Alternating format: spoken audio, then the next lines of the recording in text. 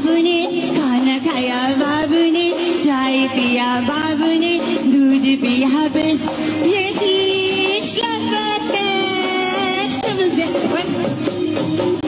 Thank you time बहुत कम है।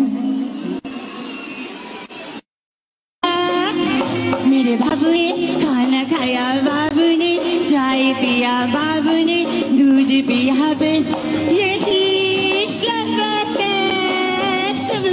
है शब्द है थैंक यू टाइम बहुत कम है